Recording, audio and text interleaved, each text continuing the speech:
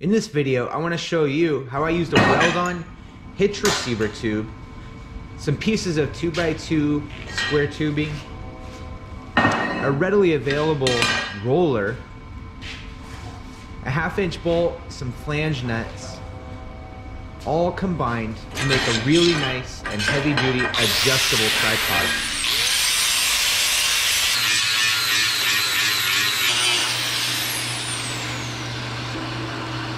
I use these flange nuts because you don't worry about getting into the threads and messing up those threads and having to retap those. Gives you a lot more weld surface.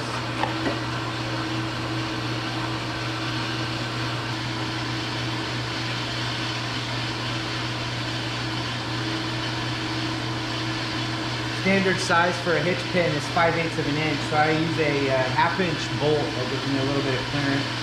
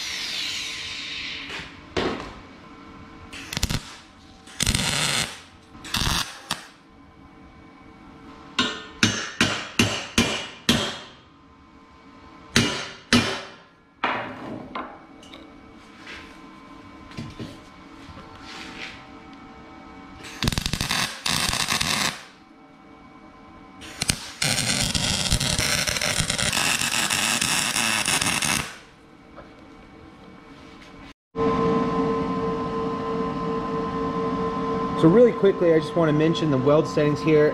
This is the 210 MP factory set to 5 16ths, which is 366 inches a minute, 20 volts. What that does, it allows me to really adjust my speed as well as focus heat on the, the thicker material and then just whip that heat up to the thinner material because of the, the range. But it allows me to keep my weld speed up.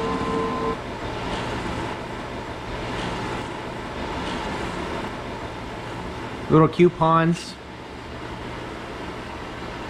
two inches wide by three and a quarter long. I've got a pilot hole in them and now I'm going for a final hole size.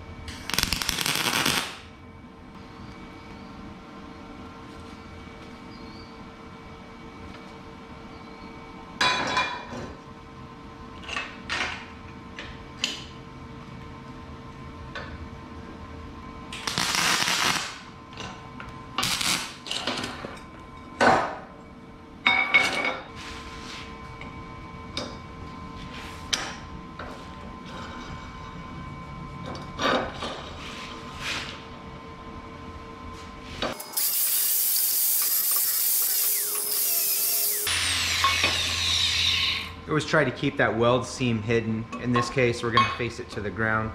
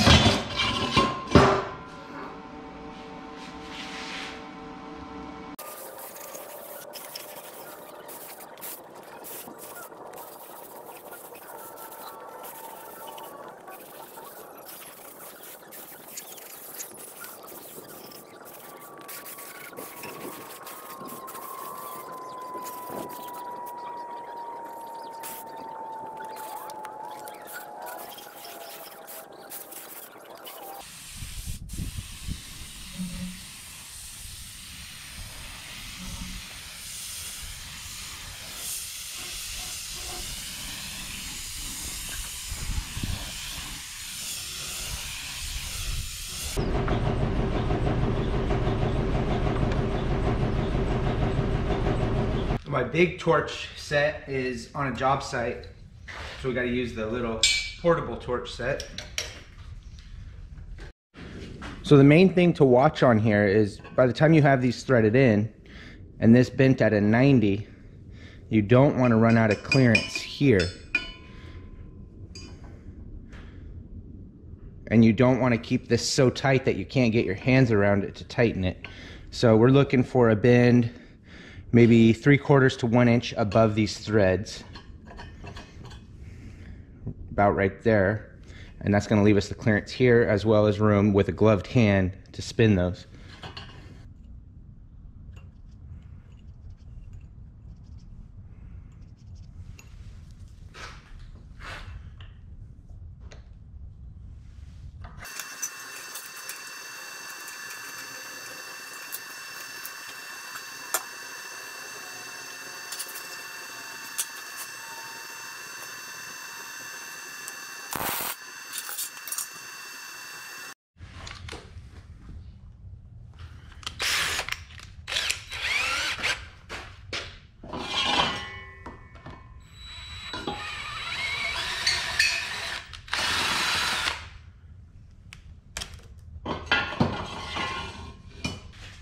This is a dry, a dry moly lube here, so it dries, it doesn't stay wet.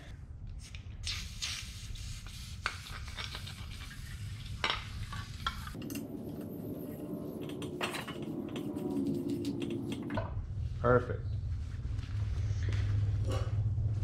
Now these are the rollers that I bought in a five pack. I think the weak point is gonna be this little shaft here, but we'll run them, run them until they don't work anymore, and we'll see. You can get these in a two inch, as I mentioned earlier, which is why I held these up a little bit higher. I can still fit a two inch, this is a one and a half. Now the way you install these is one side pushes like so.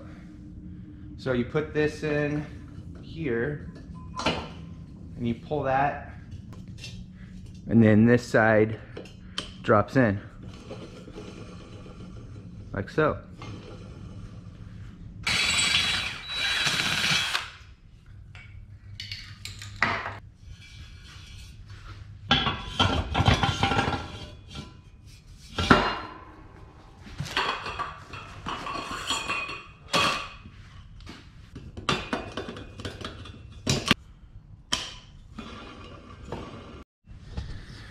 So you can see there's a couple of different styles here.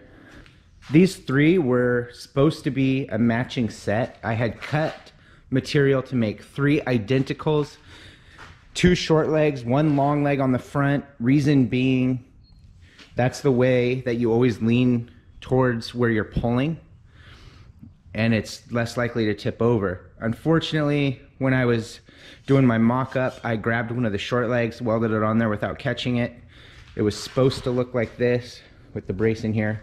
So I kind of had to adapt on the on the fly, which is why this piece ended up with a few holes in it. That was just a remnant I grabbed out of the scrap bin. So I should have had three matchings. It hurt my feelings a little bit, but my fault. Didn't catch it soon enough. But it'll be fine. And then I have these two right here that I kind of pieced together with scrap. I had two little short pieces of receiver tube welded those together. And then uh, this one I had a, it's about a seven inch piece or so. These are some thinner legs, but they'll be fine for whatever. They're, these are, these are getting dedicated to the bandsaw in feed. And then these, uh, I just built them and they'll kick around wherever they're needed.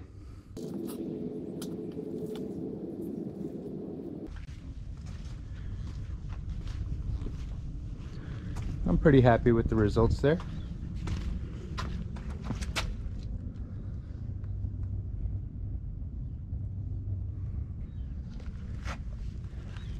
Got the bonus one over there. And the outfeed one there. Not too shabby.